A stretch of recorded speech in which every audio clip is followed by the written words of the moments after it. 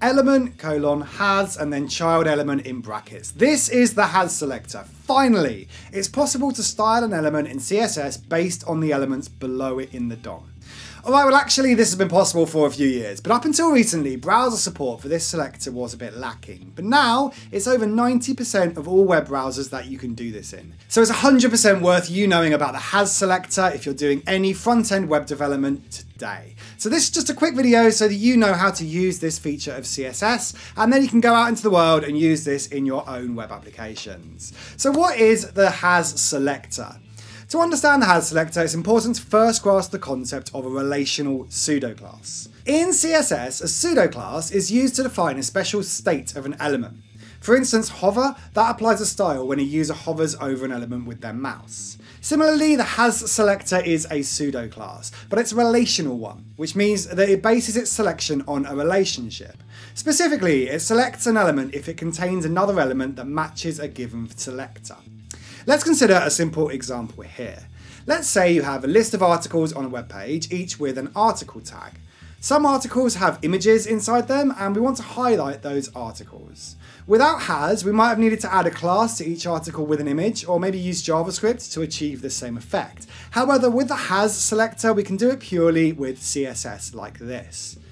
So in this CSS, article has image selects any article element that contains an image element and it applies a blue border around those articles. Here is the result in the browser of this. Notice how the article tags that have an image inside them have the blue border around them and the other ones don't. This is a straightforward example, but it clearly demonstrates the power of the has selector for selecting elements based on their content.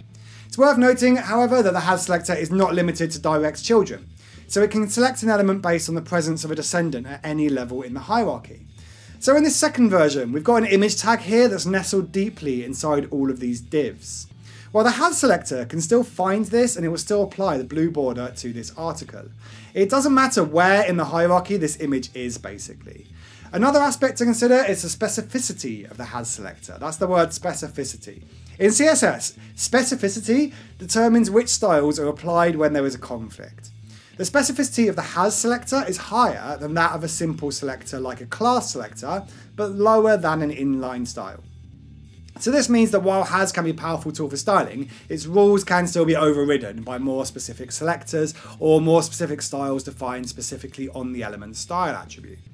One potential use case for the has selector is in designing responsive layouts. So consider a scenario where you have a grid layout with cards on it, and you want to apply a different style to cards that contain a certain element, like a video.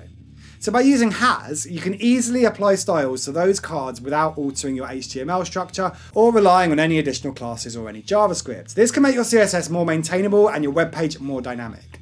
So here, notice those borders again on the cells that contain a video. And you can see that the has selector on the right hand side is being applied to those elements inside DevTools in Chrome. Here. So just a quick note on performance. While the has selector is a great tool to have, it's essential to use it wisely to avoid any performance issues. Has can increase the complexity of CSS selectors, so overusing it or applying it to a large and complex document can actually impact rendering times. It's recommended to use has selectively and to test the performance impact on your web pages, particularly on devices with limited processing power. There are several tools that can help you analyze and optimize the performance of your CSS. Chrome DevTools offers a whole comprehensive suite of debugging tools that are built directly into the Chrome browser. The Performance tab of DevTools allows you to record and analyze how your web page loads and how it renders, including any time spent on calculations. This feature can help identify if and when has might be causing you slowdowns. Firefox Developer Tools also provides a performance panel just like Chrome, and then there's also third-party tools like Lighthouse.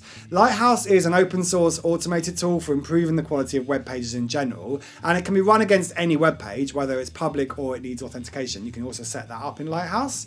The performance audit that you get back from Lighthouse includes metrics on render blocking resources, and that can help you understand the impact of your CSS, including things like the has selector. Okay, lastly, just a quick note on browser support. I showed you this at the top of the video. This is the Can I Use page for the Has selector. And as of time of making this video, which is April 2024, as you can see, Has works on about 92% of web browsers in use globally. There's a couple of notes here at the bottom, as there often is, because this stuff is never binary, but ultimately, above 90% of browser usage is usually fine. Browser support is a business decision, not an engineering decision, because it affects how many users can use your app. But it's a conversation worth having with whoever your stakeholders are about whether this level of browser support is acceptable. In a nutshell, it's fair to say that the HAS selector is supported in the majority of modern browsers, and that includes the latest versions of Chrome, Firefox, Safari, and Edge. If you need to, you can use feature detection libraries like Modernizr to check if a user's browser supports HAS. So based on that check, you can conditionally apply styles or load alternative style sheets that are designed for browsers without HAS support.